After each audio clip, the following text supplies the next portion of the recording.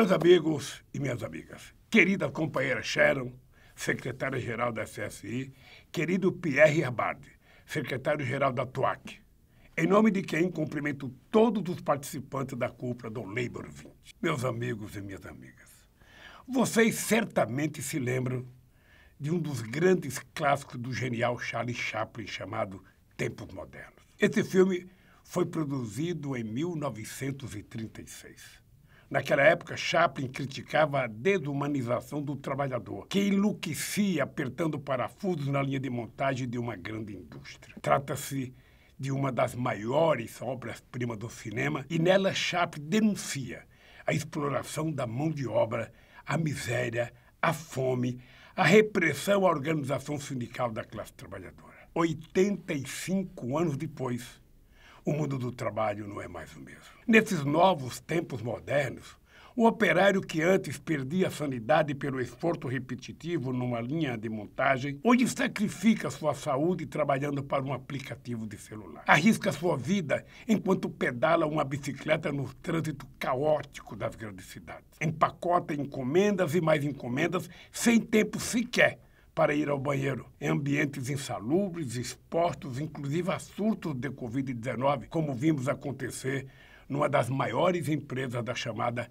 nova economia. Os defensores da desregulamentação radical do trabalho venderam para esse trabalhador a ideia de que era um bom negócio abrir mão de todas as formas de proteção social conquistadas a tão duras penas em troca da ilusão de ser o empresário de si mesmo sem patrão e com plena liberdade para fazer a própria jornada de trabalho. O que ele não sabia, está descobrindo agora, é que, na verdade, trabalha e trabalha muito para um patrão invisível, o dono do aplicativo que compra um iate de milhões de dólares para posar seu helicóptero enquanto o trabalhador se mata numa jornada estafante, sem direito a descanso remunerado, férias e aposentadoria, sem nenhuma proteção do Estado. Não satisfeitos em tentar transformar as pessoas em algoritmos, os donos da riqueza do mundo dão um passo a mais no cenário de horror. Recentemente,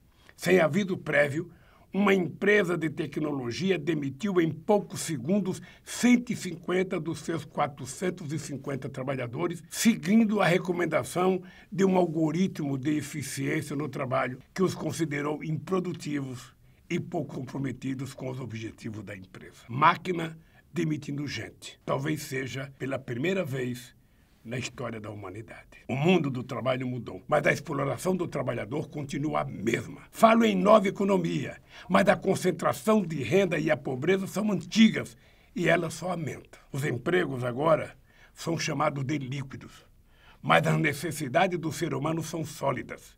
Ele precisa ter um emprego decente, um salário digno para sustentar sua família, precisa se alimentar com qualidade e precisa ter acesso à saúde, precisa ter direito ao descanso e ao lazer com seus filhos. A modernidade é outra mas as mazelas continuam as mesmas desde o filme do Chaplin. A exploração da mão de obra, a miséria, a fome, a repressão às tentativas de organização sindical da classe trabalhadora. Vivemos em um tempo em que multimilionários fazem turismo espacial, investem na possibilidade de sobrevivência em outros planetas, enquanto aqui na Terra, 800 milhões de homens, mulheres e crianças vão dormir essa noite sem saber se terão o que comer amanhã. No momento em que os donos do capital tentam a todo custo destruir os sindicatos, nossa maior certeza é de que nunca precisamos tanto dos sindicatos como agora. Tudo que nós conquistamos desde a Revolução Industrial, os direitos trabalhistas, o estado de bem-estar social,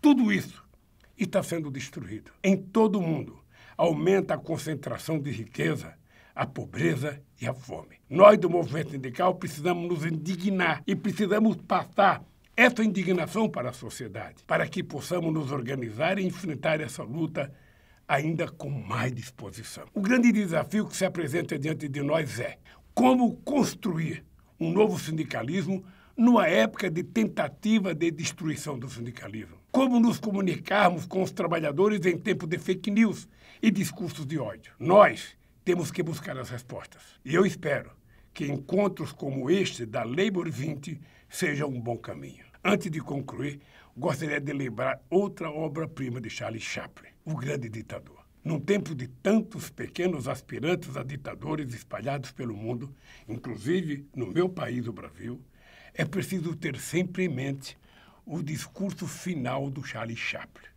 quando ele diz: Não somos máquinas, seres humanos é o que somos e venceremos. Um abraço a todos e a todas e até a vitória, se Deus quiser.